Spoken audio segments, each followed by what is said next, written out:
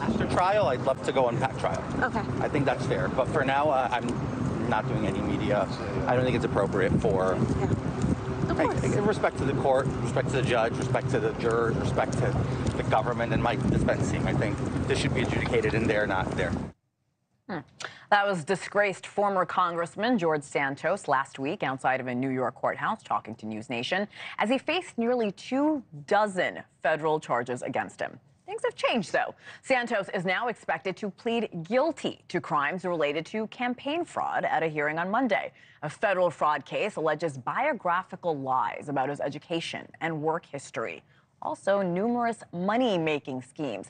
News Nation's Caitlin Becker is here with more. Caitlin, you were at the courthouse last week. Walk us through the charges he's facing and, of course, the expected plea deal. You know, it's interesting for him to go from this is a witch hunt, which he Right. has said in the past, and all of these things are baseless, to we're expecting a guilty plea. So sources with knowledge of the situation have confirmed that he's going to cop a plea with federal prosecutors on Monday. Now, the details of what that plea agreement will look like are unclear at this time, but I can tell you that on Tuesday, or of last week, or I think it was Tuesday or Wednesday, one day last week, it's all blending together Mm-hmm. Oh, now. Hena, he was arraigned on 23 felony charges in a superseding indictment, and he entered a plea of not guilty then. And these charges all connect to five alleged schemes that prosecutors claim that he eh, concocted go- while he was running for Congress, Right. along with two other co-conspirators who have since also had plea deals. So among these things are identity theft. They say that he stole credit card information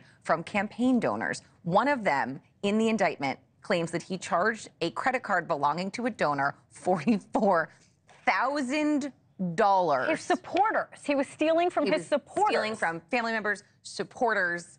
Yeah, that's what they're saying he did. And they also were saying that not only did he use it to allegedly line his campaign coffers, but he also allegedly spent it on things like designer clothes and Botox and makeup. So what this plea agreement is going to look like is going to be pretty interesting because they're pretty egregious claims. Forty-four thousand dollars. There's a lot of Botox for forty-five, forty-four thousand dollars. I could use it, uh, honestly. Uh, both of us, forty-four thousand dollars.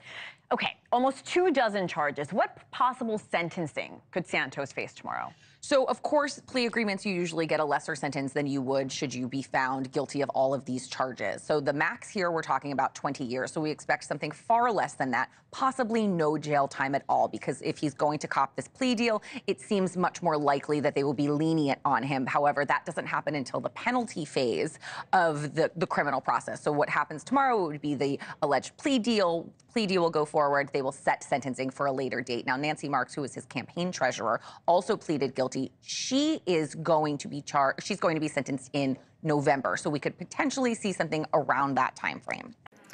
Thanks for watching. Go to joinnn.com to find News Nation on your television provider. And don't forget to click the red subscribe button below to get more of News Nation's fact driven, unbiased coverage.